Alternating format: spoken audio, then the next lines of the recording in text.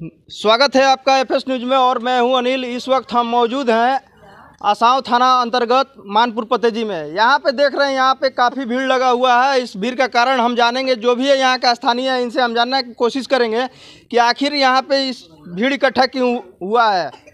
तो क्या कुछ कहना चाहिएगा इस भीड़ इकट्ठा होने का कारण बताइए। एक कारण है कि दो चार लोग हैं अपराधी किस्म के। जिनका नाम मिथिलेश यादव है उपेंद्र यादव है और एक पप्पू यादव है। ये अपराधी किस्म के लोग हैं और बार बार इसमें इस, इस हम लोग के गाँव में आ रहे हैं धमकी दे रहे हैं आ, हमारी बेटी बहन के साथ छेड़खानी कर रहे हैं। आ विरोध करने पर हरवा हथियार के साथ तो इसकी सूचना आपने स्थानीय थाना को दी कि नहीं दी? हाँ, थाना को दिया गया था। इससे पहले? इसके पहले जो घटना हुई थी उसमें थाना अरेस्ट भी किया था इनको पप्पू यादव को। और थाना पता ना बीच बचाव करके छोड़ दी। और उसके बाद से ये लोग हमला कर रहे हैं हम लोग को मार रहे हैं। हमारे हमारा एक लड़का है उसको मार रहे हैं। एक, एक भाई है इसको मार रहे हैं। आज एक भाई गया था बाज़ार में हालाँकि पकड़े थे छेड़खानी के मामला में उन लोगों को पकड़े थे ये दोनों लड़के। इसी का बदला इनसे ले रहे हैं लेकिन ये लड़का जो था आज की जो घटना है किनके- किनके ये लड़का गया था। है एक ओम प्रकाश राम के लड़की है। अच्छा। हाँ। तो आप लोगों ने उसका विरोध किया तो उसी के आवाज़ में उन लोगों मारपीट कर हाँ रहे उसी के वजह में ये लोग बदला सधा रहे हैं। तो आप ज़िले के वरीय अधिकारियों से क्या मांग करना चाहेंगे? उन लोग पर कठोर से कठोर सजा दिया जाए जो न्यायिक सजा है उनको सजा मिले। आज आज क्या आज क्या, क्या बोल रहे हैं आप? बोल रहे हैं कि वो एक सत्या गैंग चला रहे हैं सब। सत्या गैंग चला रहे हैं। गैंग चला रहे हैं। और वो नहीं पता लेकिन वो उस नाम से गैंग चल रहा है सब। तो उस गैंग में कितने आदमी है? ये तो मतलब तीस चालीस आदमी हैं कम से कम चालीस पचास आदमी हैं। हमने आँखों से देखा है जब हम अपने दुकान से तिरमारी पा आ रहे थे तो हमको भूख लगा था हमने चले गए होटल में खाना खा कर आ रहे थे देखे कि बीस पच्चीस को मोटरसाइकिल से लो हाँकी और बंदूक ठीक है ना?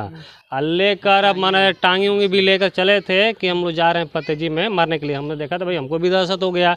हमने भी तुरंत गया, दुकान का सेटर गया फिर गाड़ी किसी को लिया। गाँव आया तो देखे कि मतलब चहटा पड़ा हुआ है और यहाँ सबसे बड़ी चीज़ यह है कि आज एक महीना से जो हमारे गाँव के लोग टारगेट जो कर रहा है जो नौजवानों को टारगेट कर रहा है एक बहुत बड़ी मैंने दुखद घटना है आज के डेट में आज को मैं पहले आपको बता रहा हूँ आज के डेट में सर जी जो हैं इनके घर में तक ले लोग घुसा दिया था हथियार लेकर उसके बाद इनको भी आज की आज की घटना मेरे घर के पास हथियार लेकर आए थे हमको कर रहे मदद? कितने? करीब बारह पौने बारह बजे तो। आपने थाने में सूचना दी इसको और एफ़ आई आर किया है कि नहीं हाँ थाना भी देखा कितने थाना आदमी को नामजद किए हैं आप तीन चार आदमी नामजद हैं बाकी अज्ञात हैं।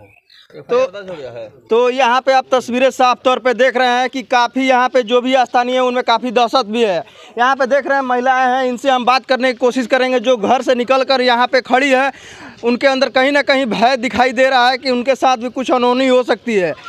तो क्या कहे के चाहे? मैंने का रुआ लोग के अंदर काची के मैंने माने डर लगता है कि रुआ लोग ये लोग घर में ढुकावे लगता लो लगता लो चहेटे हमनी के वही के डर माने लगता। काहे चोहटो त लोग अब तो अब पता अब तो हमनी के नहीं उ लोग अहिर जाता हलो हमनी के तो माने ओई रहलो तो रह ना दिलो।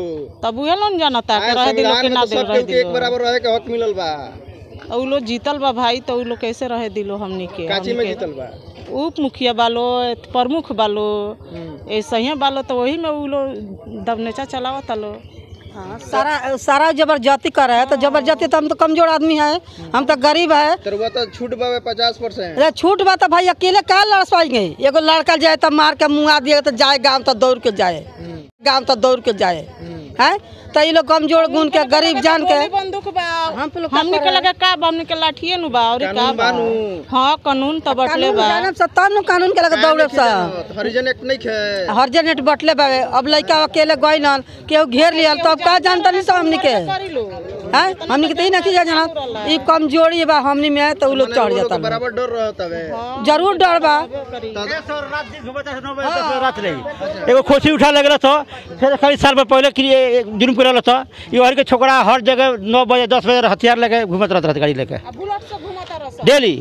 महादलित के पहले दिन दोबारा एगो हर जगह घर में ढुक रहता हाँ। तो माने ई जे का लागत कि बड़ छोट के एथी होता का? जुलूम करते रहा है जाति के लोग जा हाँ। इजे आई आई आई यहाँ आई तो आज आज भी घटना भइल बा ऐसन आज ये घटना है दस दिन पहले के। एगो चमार के घर में ढुक गलो था ले गाड़ी। और लड़का बोलो था कहीं लेकिन के बाज़ार में धोधा के मारता रही तर रउआ का मांग करेगा चाहता नहीं हम मा- उचित न्याय मान होके दोसर का मांग करे के चाहता नहीं। उचित हाँ। उचित कार्रवाई जब दोसर का हम लोग बोल बा हथियार पे चलाओ के। मान के चली कि गरीब आदमी मांगी तो कम अथी न मांगी कि हमनी के भाई बेटी बहन कहीं जाओ बेटा भतार जाओ कोई हाथ न है, कोनो मतलब ना न गरीब आदमी के घर में सड़क ढुक जाए के ई कोनो मतलब ना भैया बाज़ार में छोड़ जाता लेकिन पड़ा जाता छोड़ जाता आइए आइए यहाँ पे आइए कैमरा पर्सन से कहेंगे कि इधर भी बात करें। तो रउआ लोग के कब से माने ये यहाँ होता है? कब से कब से माने यहाँ रउआ लोग के साथ तीन दू दिन से एने कांड बा। हनु दू दिन से कांड बताई, कांड एजा के लोग ना जानत रहला। लड़का ए बेरा गइल है। लड़का गइल तो लड़का के घेर ले घेर ले रहलू लड़का अकेले रहल है। लड़का के घेर के मारल हलू। तब जानकारी लड़का देलन तब सारा लोग गइल हा। हाँ। दबाव गुने भैया बहुत दबाव देता लोग। आज साल भर पहले से उपद्रव करता लोग। तो हमनी के घरे बेटा भतार नहीं खेन कि बैठ के मारा मारी करो। हमनी के गरीब आदमी ना खेती बा ना बारी बा। बन बनियारी करे के खाए के। आज लड़का के जान ले ले रहित लो। तो जान तो ना दित लोग हमनी के भैया। मुखिया जी के लगे गोर वो लोग गोर नहीं है लोग अब मुखिया जी के लगे हमनी के ना जाए पवनी हो जाए। मुखिया जी। का आश्वासन है? बस आश्वासन दिए वो कि आकर के चलते हैं थाना पर वहाँ पर अप्लीकेशन देते हैं ठीक है? उसके बाद चलिए जो होगा वो देखा जाएगा ठीक है? उसके बाद एस सी एक्ट के तहत क्या केस करने के लिए बोले हैं। तो आप लोगों ने एफ़ आई आर किया? हाँ एफ़ आई आर लिखे हैं लेकर जा रहे हैं अब हम लोग। तो क्या नाम हुआ आपका? रवि कुमार। तो आप तस्वीरें साफ़ तौर पे देख रहे हैं कि यहाँ पे जितनी भी महिलाएँ हैं बच्चे हैं बुज़ुर्ग हैं सभी के अंदर भय का माहौल बना हुआ है। इनका साफ़ तौर पे कहना है कि जो यादव बिरादरी के हैं, उनके द्वारा काफ़ी यहाँ पे इनको डराया, धमकाया जाता है, रंगदारी किया जाता है। तो इसको लेकर काफ़ी यहाँ पे महिलाएँ भयभीत हैं। महादलित बस्ती है, जिसमें आप देख रहे हैं तस्वीरें, यहाँ पे हज़ारों के संख्या में इकट्ठा हुए हैं। यहाँ पे एफआईआर लेकर अब थाने में जाएँगे, एफआईआर करने के लिए। हमारे साथ ये वीडियो जो भी दर्शक हमारे देख रहे हैं, इस वीडियो को ज़्यादा से ज़्यादा शेयर कीजिए ताकि इनको न्याय मिले और जो भी इसमें दोषी हो उसको उचित कार्रवाई हो सके और उनको सजा मिल सके। हमारे सहयोगी कैमरा पर्सन अमित के साथ मिश्रा जादव बरवा के। देखिए आगे इनसे बात करेंगे क्या कहना चाह रहे हैं छोड़िए इसको छोड़िए बात बोलिए। मदन यादव के लड़का मिश्रा यादव बरवा के। वो हथियार लेके एथी सत्यम ग्रुप के नाम से ही प्रसिद्ध बा जी। सत्यम ग्रुप चलता अपने क्रिमिनल के। ये जुर्म करता था महादलित बस्ती में। तो आपने देख रहे हैं कि यहाँ कोई सत्या ग्रुप है उसको लेकर यहाँ पे वर्चस्व फैलाया जा रहा है। तो यहाँ पे देख रहे हैं कि भीम भीम आर्मी के भी नारे लगाए जा रहे हैं। तस्वीरें आप साफ़ तौर पे देख रहे हैं कि जो भी इस वीडियो को देख रहे हैं, ज़्यादा से ज़्यादा शेयर कीजिए ताकि इन सबको न्याय मिल सके। हमारे सहयोगी कैमरा पर्सन अमित के साथ मैं अनिल, आसाम। जय हिंद।